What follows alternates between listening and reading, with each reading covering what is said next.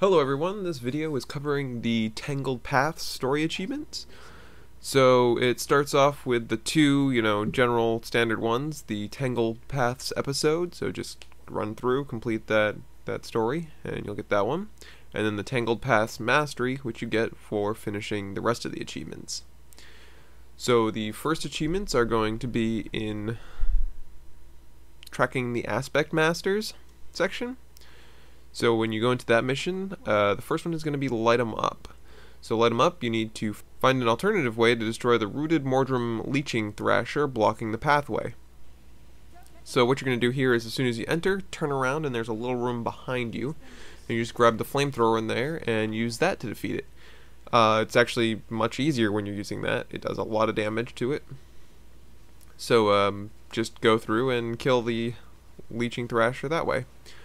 So if you're a little squishy, you're going to want to stay back and you can just kind of work your way through it slowly. It's pretty easy. You can solo it, not bad.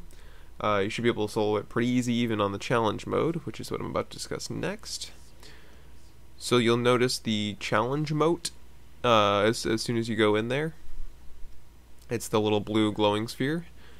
And you will get Dancing in the Dark for completing tracking the aspect masters after speaking with the challenge mote and activating challenge mode. So when you activate challenge mode, it will get darker in there. Enemies will take more damage, they'll deal more damage, and some of their skills will be buffed. For example, the uproar skill that uh, you encounter on the Teragriff will be larger, like it'll cover the entire thing. And I'm not sure if you can avoid it or not. I didn't uh, see a way you could avoid that. So, you know, just watch out for that. But otherwise, it's not too bad. Um, uh, something I also noticed is if you go down and die and the party wipes, on normal you'll just be able to get back into the fight and it doesn't reset. On the challenge mode, it will reset, so you'll have to take it down from the beginning again if you are defeated. Um, a big tip for the Teragriff is just to stay in the corner here by the vines, and you'll be out of the way of like all of the poles from the vines and uh, his um, his charges and stuff.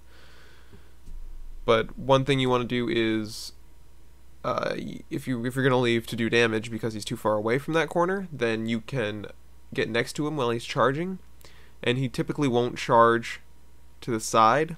He'll just charge across the the little arena there, so you can avoid getting hit by his charges just by kind of sticking next to him. Just not too close. And then the final achievement you can get there is going to be No Teragriff Pack Snack. So this is for defeating the Mordrem Teragriff without being hit by its malformed allies. This is pretty easy. You just need to avoid them when they get summoned.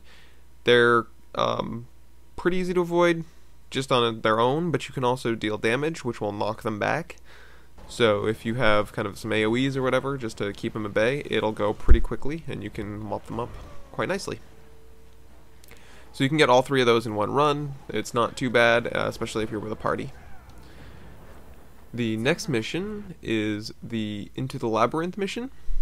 So there are three achievements there as well.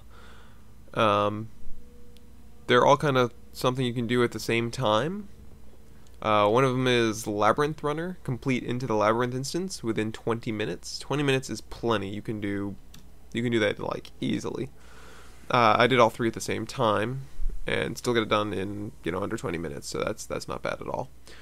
Uh, Master of the Maze is reach the center of the maze without being caught by the Mordrem Lurcher. Now you can mostly just like run through here, and uh, just avoid it as as best as possible. Just don't engage and don't get hit by its uh, charge and you can like uh, if you have any teleport skills or invulnerability uh, you can just bypass it pretty easily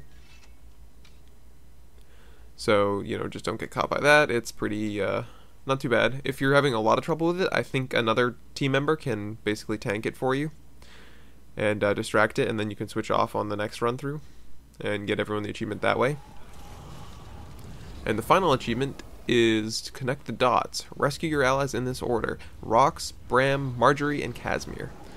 So basically, this one's pretty easy as well. You just need to do it in a certain order. Uh, I marked their locations on the map, and basically you just go to each one and then backtrack till you get to the, you know, where you um, split off and get the next one.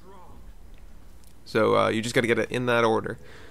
So don't talk to them until you've gotten the previous one, and they won't count. So that's that. That's also a pretty easy one.